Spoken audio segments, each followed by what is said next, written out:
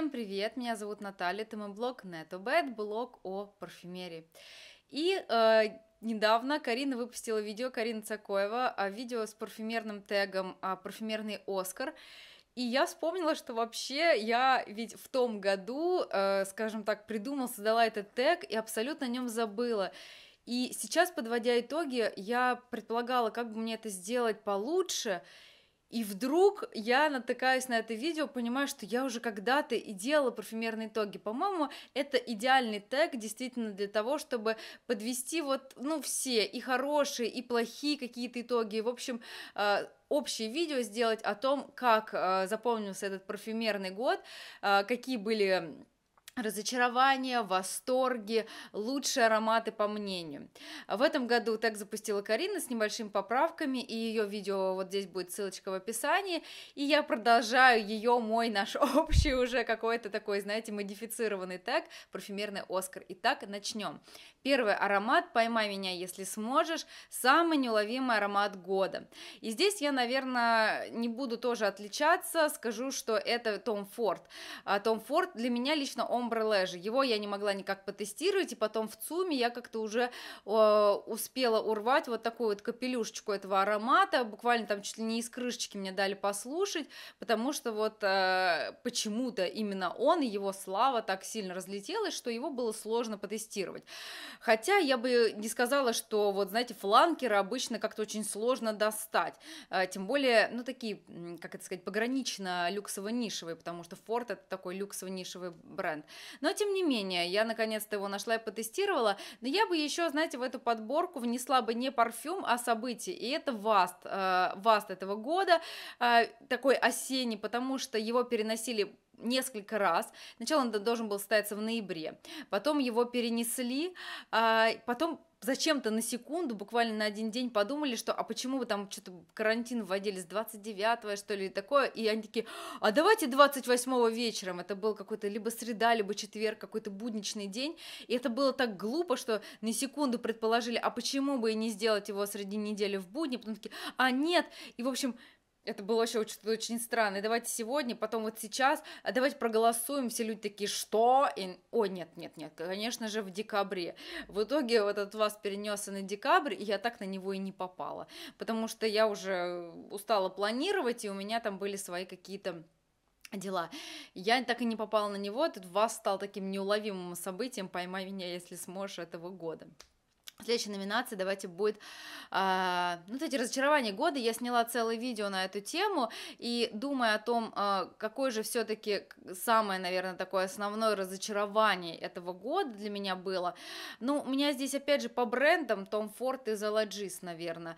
Том Форд, я, сказ... я, знаете, почему Том Форд у меня под вопросом?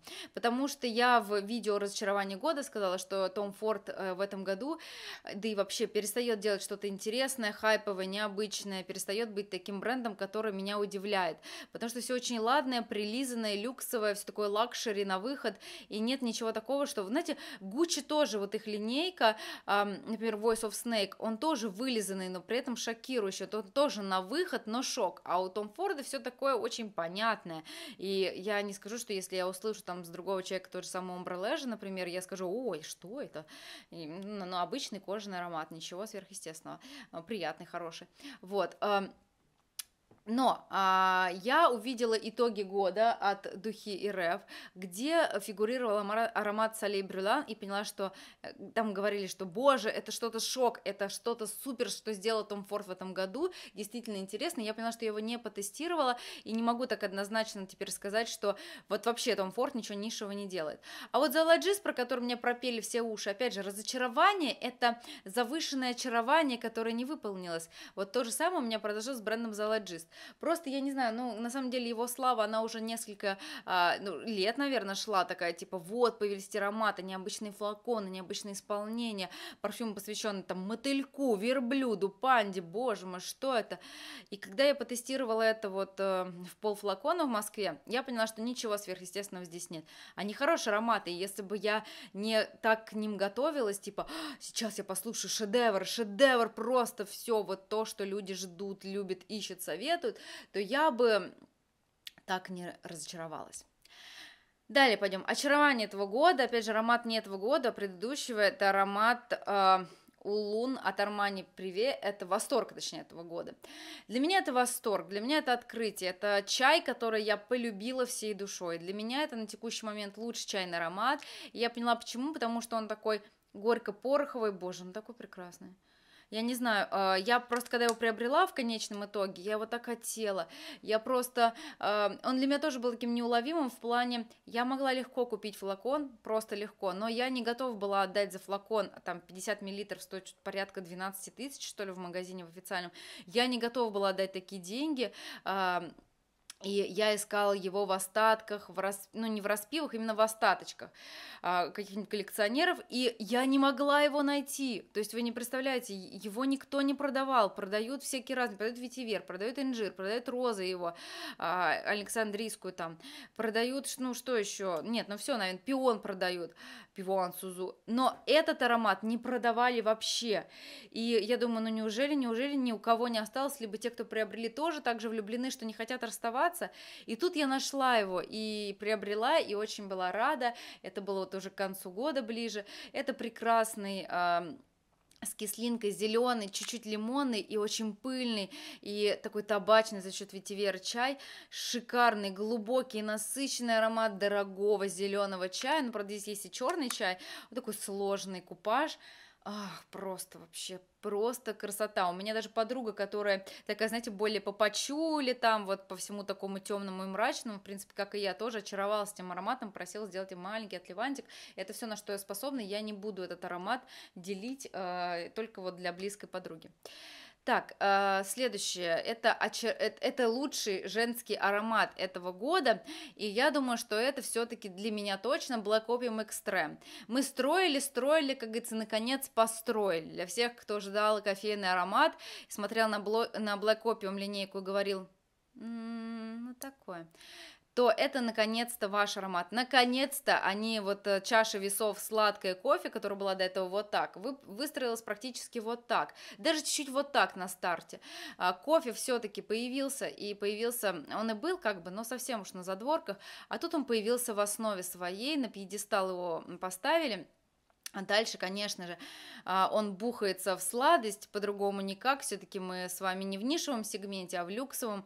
Э, и в Saint-Laurent это люксовый сегмент и невозможно было сделать там очень горький кофе, но тем не менее это хороший, жгучий, горячий, красивый кофе. Еще не приобрела, но у меня в списке, опять же, я просто жду таких каких-то новогодних, после новогодних распродаж, когда этот флакончик будет по акции, но он почему-то за раз не попадает туда. Попадает а, Black Opium там какой-то другой, но вот эти вот флораль, там другие, короче, фланкеры, именно этот фланкер не попадает. Но он как не как новинка, причем новинка хорошая, то есть новинка, которая запомнилась и которая хорошо раскручивается блогерами блогерами, да и просто людьми. Поэтому я не удивлена, что его на скидках не предлагают, пока есть спрос, зачем. А, самый лучший мужской аромат, опять же, а, я сейчас скажу такую э, страшную вещь, я, к сожалению, не очень следила за новинками мужской парфюмерии, хотя там проскочила какая-то прелесть под названием Dolce Gabbana Light Blue э, Эва или Форева, не помню точно, про которую просто поют оды. Надеюсь, подойду, потестирую, все забываю, знаете, прохожу привычно мимо Литуаля спокойно, спокойным шагом, а надо как бы зайти да посмотреть. А, лично у меня, а, которую я тестировала, это Арман Бази Ле Пур Ом Блю Ти. Вот этот аромат, я тоже снимала про него обзор, и это аромат, который очень хороший, приятный. Э, сейчас, подождите, крышка. Да что ж такое? Э, да, да ё-моё. А, а, недорогой, боже, я вот, сейчас, я вот сейчас его слушаю и понимаю, что, ну, он очень хорош. Недорогой мужской аромат со звучанием мятного а, ледяного чая. Вообще здесь в основе голубой чай с мятой. Вот я сейчас, знаете, вот все-таки стоит флакон, я носила, носила, носила его, когда он у меня появился, носила, носила, такая, боже, красота, красота, поставила и забыла. Ну вот такое часто бывает, поставил и забыл. И пока я начала снимать это видео, я лично к нему не подходила. Муж еще тестировал, но не помню. Я не подходила. И сейчас я вот его послушала с вами на видео, опять говорю, какая же красота. Это очень хороший мужской мятный, свежий такой ледяной аромат. Ну просто вот, мне даже какое-то мятное мороженое напоминает. Знаете, мороженое такого голубого цвета, вот такой же запах холодный, мятный и чуть-чуть чайный. Очень красивый, очень красивый, и зимой красивый, и летом, думаю, будет вообще великолепен. Так, ну и что у нас там еще по номинациям осталось? А, кажется, я все рассказала. А, лучший нишевый аромат. Лучший нишевый аромат, я здесь тоже не буду э, очень уникальный.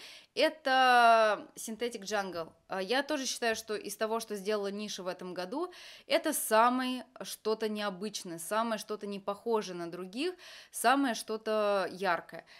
Просто Synthetic Jungle у меня воз вообще вот я когда только его потестировала, такая, что это? Это какие-то пластмассовые, не знаю, э, полиэтилен, который приехал с Алиэкспресс. Вот у меня было такое ощущение. Но когда я уже потестировала э, еще раз, я поняла, что он интересный. Там и зелень, и пластик, и в этом что-то есть. Он необычный, яркий. Я очень хочу себе отливантик. Миниатюру, знаете, миниатюра 10 мл стоит 5 тысяч. Ну, 4 там, тысячи, хорошо, по акции. При этом распив, например, идет тоже порядка двух тысяч за 10. И такой, блин, за то, что он в красивом этом фирменном кофре отдавать, э, не знаю, лишние там в два раза больше цены. В общем, я не готова. Я думаю, все-таки от Ливан приобрету, поношу, а дальше уже будет вопрос. Уже, я думаю, к этому времени уже в остатке будут продавать. Но просто Фредерик Мальт действительно тоже дорог. Дорог, и для вот у кого там средняя какая-то там, не знаю, зарплата, для тех, кто в декрете тем более, это достаточно, ну, как бы весомая цифра. И последняя, наверное, такая э, последняя номинация это хайп года. Ну, тут тоже Ганимед, естественно. А, согласна с Кариной, я не буду лукавить, я видео посмотрела ее, ну, как бы я и сказала, что сначала посмотрела ее видео, вспомнила, что у меня тег такой был. А, согласна с Кариной, что Ганимед это аромат, который раскрутили распивщики. Аромат не этого года, но вдруг неожиданно как-то, я об этом тоже говорила в слепом затесте э, ранее, распивщики формируют все-таки тоже хайп. То есть это делают, наверное, ну, реклама в какой-то степени, да, использование медийных лиц. Это делают блогеры, блогеры, эксперты, ну вот э, эксперты-блогеры, блогеры-эксперты, не экспертные блогеры, в общем, неважно, блогеры. А, которые в соцсетях а, рассказывают о каком-то аромате, и это делают распивщики. А, да, и они это делают очень хорошо. Они поднимают волну вокруг какого-то аромата, что каким-то удивительным способом. Видимо, кому-то попадает, потом, может быть, действительно человек сумел очень красиво раскрутить. А люди начинают спрашивать у других своих знакомых, потому что, может, у кого-то из распивщиков более дорого, а у кого-то подешевле, и они это знают, и спрашивают, а вы вот ганимед не хотите при, при, привезти, например. И пошла волна, что такое ганимед, а почему вы его ждете? Да вот такой вот прям известный, и человек думает, хм, ну ладно, если покупают, покупают, надо брать, да, и распивать, и начинает распивать, а чтобы, соответственно, продавалось это все дело прекрасно, даже если ты купил и такой, что это, а, то надо о нем рассказать красиво. Я сейчас не говорю о том, что а, это неправда и аромат плохой. Хороший аромат, нормальный аромат, я тоже про него уже рассказывала, а, но ничего сверхъестественного, ничего шокирующего. Для меня, например, если вставать на одну полку по именно по вот э, уникальности Бакару и Ганимед, однозначно Бакара будет на 10 ступеней выше. Она действительно была яркой, необычной, но Ганимед, я не совсем понимаю хайпа вокруг него. Я что-то даже удивлена, почему вокруг каких-то вот хороших старых других ароматов такого хайпа нет. А с другой стороны, может и хорошо, да, не будет всех одинаковых, а то сейчас все заплодит этот Ганимед. Но он такой, знаете, не не, не тот аромат, который как бы кора двери выносит с ноги, да, он, э, вот эта вот стандартная фраза, он более спокойный, поэтому я даже думаю, что если его будет достаточно много, не сразу это будет заметно, потому что не такой уж он кричащий, яркий и не такой уж обращающий на себя внимание, поэтому ну и ладно, ну и пусть, пусть хайпует. А там разберемся. В следующем году, между прочим, так за травочку увидела новость, а, Том Форд выпускает три розы, и я поняла, что, блин, они лишают меня, не знаю, какого-то удовольствия написать гайд в ближайшие дни про розы, потому что а, я хотела, а тут вот Том Форд еще три розы, и как же я без них, да в этом вашем своем продукте. Это вот такой вот вам тоже небольшой хайп, а, затравочка на следующий год. Все, это был мой парфюмерный Оскар. Пишите, какие у вас разочарования, лучшие женские, лучшие мужские ароматы. А если вы снимаете видео на YouTube и вы тоже блогер, то продолжайте тег парфюмерный Оскар, отмечайте, а, подписывайтесь, ставьте лайки. Помните, что мир полон необычных ароматов. Всех с наступающим и всем пока.